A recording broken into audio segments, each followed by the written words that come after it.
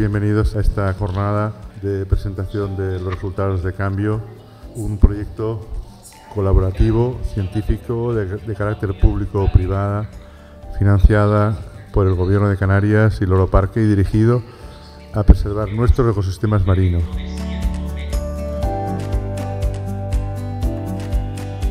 Eh, en primer lugar, en el programa Canoa sobre acidificación oceánica se ha implantado la primera red oceánica de observación de CO2 en Canarias, eh, contando con dos boyas oceanográficas, una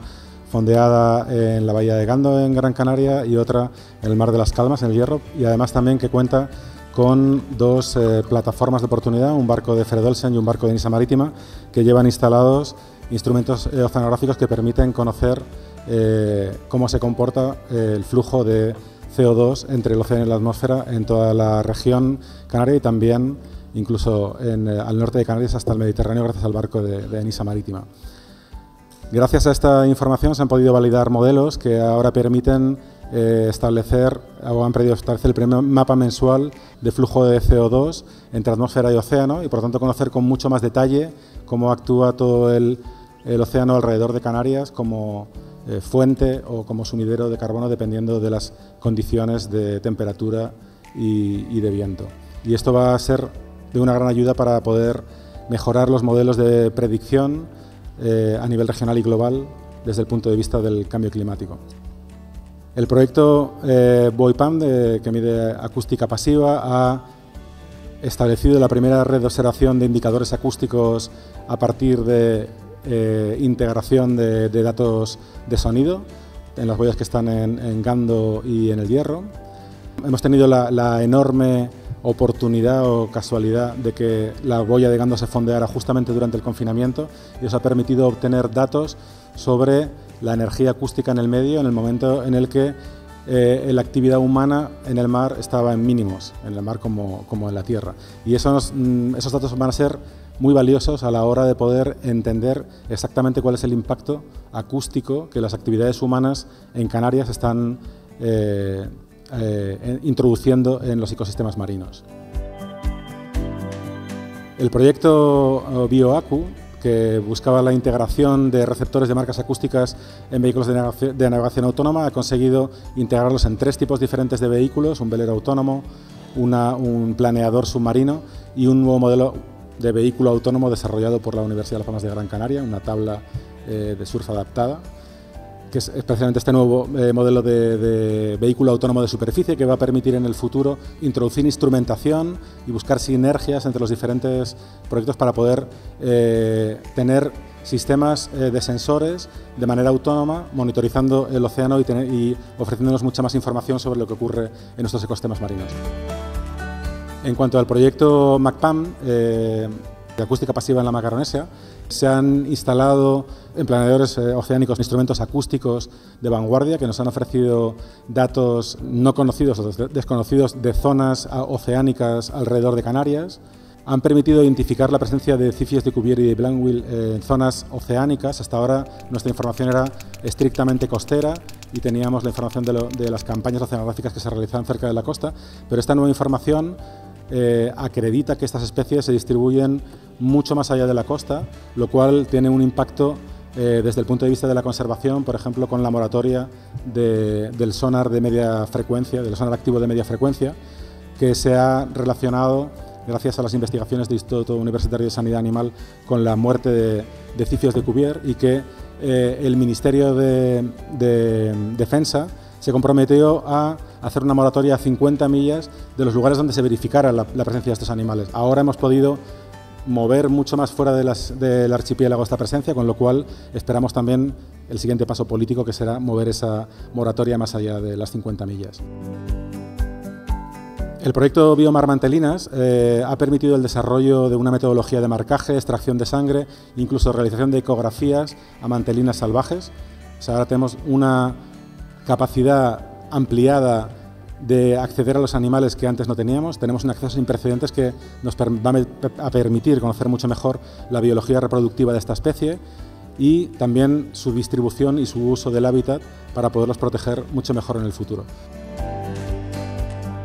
Eh, en el caso de los angelotes se ha desarrollado también una metodología de marcaje subacuático para poder implantar estos, eh, estas marcas acústicas que identifican individualmente a cada uno de los ejemplares de manera, eh, no voy a decir que sencilla, pero de manera rápida y desde luego poco estresante para los animales. Y gracias al proyecto se han colocado también 100 marcas en angelotes que proporcionarán datos esenciales sobre esta especie críticamente amenazada. En cuanto al producto Biomar Refugios Fríos, eh, ha establecido un programa de registro de temperatura marina costera en la isla de Tenerife para poder tener información sobre cómo el calentamiento tiene efectos diferenciales en diferentes puntos de la costa y poder identificar refugios fríos o lugares que van a ser esenciales para la conservación de la biodiversidad adaptada a la temperatura actual cuando vaya aumentando la temperatura con el cambio climático. Se ha constatado la tropicalización y la pérdida de productividad en comunidades de fondos rocosos en la isla de Tenerife por la aparición de corales blandos, eh, tapizantes, especies mucho más tropicales y que están apareciendo y proliferando en las costas y sustituyendo a las algas que eran las comunidades costeras previas en la temperatura habitual. Y por último se ha constatado la alteración de las redes tróficas costeras, es decir, los peces costeros que antes se alimentaban de las algas están teniendo muchos de ellos que cambiar sus hábitos alimenticios y habrá que ver en el futuro cómo afecta realmente a toda la estructura del ecosistema el que estas, estos corales estén eh, ocupando las, las zonas rocosas. Por último, el proyecto Biomar Tortugas ha establecido un sistema de monitorización de anidamiento de tortugas mediante drones para poder verificar la eh, presencia de tortugas que llegan a anidar a la, playa de Cofete. Durante el proyecto se ha recogido una tonelada de basura eh, recuperada de una playa, eh, con el impacto que esto tiene en playas salvajes que no tienen servicios de recogida de basuras, y se han llevado a cabo 18 talleres de varamiento de cetáceos, rescate de tortugas y caracterización de microplásticos como parte de las actividades de sensibilización del proyecto. Esto ha sido los cuatro años de cambio y eh, en el próximo año, en el año 2023, vamos a continuar cambio y vamos además, además de continuar cada uno de estos subproyectos y profundizar en el conocimiento científico que nos han aportado, vamos a eh, establecer nuevos proyectos, esta vez más dirigidos a el impacto del cambio climático en las especies críticamente amenazadas, pero en este caso terrestres. En Canarias hay 30 especies de caracoles terrestres que están críticamente amenazadas y 13 más que están clasificadas en peligro dentro de la lista roja de especies de la Unión Internacional para la Conservación de la Naturaleza. Solamente tres de estas especies están en el catálogo de especies protegidas de Canarias y por lo tanto es, muy importante, es vital hacer una evaluación de estas 43 especies eh, empezando por las 30 más amenazadas, las críticamente amenazadas, para poder determinar si realmente eh, tenemos la información suficiente, algunas de ellas puede que se lleguen a poder descatalogar y concentrar el trabajo sobre las especies que más lo necesitan en este caso. Estas especies además son altamente sensibles a las alteraciones de temperatura y humedad que vendrán con el cambio climático, por lo tanto es fundamental eh, que se integre dentro de cambio el trabajo con estas especies críticamente amenazadas. De forma similar, eh, el proyecto Bioter, Artrópodos Terrestres, se va a centrar sobre seis especies de artrópodos terrestres críticamente amenazadas. Hay otras 19 que están en peligro, también en la lista roja de la UICN. Solo cuatro de ellas están en el catálogo de especies eh, protegidas de Canarias y por lo tanto también tenemos que hacer ese trabajo porque también estas especies son altamente sensibles a las alteraciones de temperatura y humedad que vamos a sufrir durante los próximos años y por tanto tienen que ser las que reciban nuestra, eh, nuestra atención. Un proyecto nuevo también de Cambio Plus va a ser eh, Biomod, un proyecto de modelización eh, basado en la información obtenida sobre los cambios en eh, la humedad o la pluviosidad y la temperatura que vamos a sufrir en Canarias en las próximas décadas. Y estos modelos que se han desarrollado por el Grupo GOTA de la Universidad de La Laguna van a ayudarnos a poder introducir esa información en las especies críticamente amenazadas tanto de gasterópodos como de artrópodos que, mencionaba antes, mm, especialmente porque en la, actual reunión de la Convención de, Diversidad Biológica se está discutiendo sobre si la eh, lista roja de especies amenazadas va a ser el criterio para que los países puedan demostrar que están trabajando para reducir eh, el impacto en la biodiversidad. Por lo tanto, trabajar con estas especies de la lista roja y además asociarla a creación de modelos de máxima entropía para evaluar los impactos que estos diferentes eh, eh, escenarios climáticos van a tener sobre las especies críticamente amenazadas de Canarias, va a ser una herramienta fundamental para poder demostrar en el futuro que, estamos mejorando nuestro impacto sobre la biodiversidad a nivel regional. Y por último,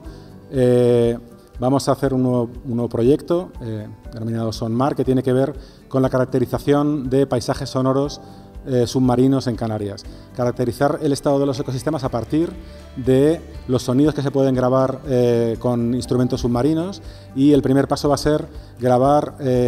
los lugares mejor conservados actualmente de Canarias, que son las zonas CEC, las zonas de especial conservación marinas, para poder caracterizar cuáles son los niveles en este momento mejores conservados y para que en el futuro se pueda establecer una línea de base que nos permita comprobar si se van deteriorando eh, debido al cambio climático y cuáles son los efectos que el cambio climático va a tener sobre los ecosistemas de una forma rápida y eh, eficiente desde el punto de vista del coste-beneficio. Y esto es todo sobre el desarrollo de cambio y el futuro de cambio en el próximo. Muchas gracias.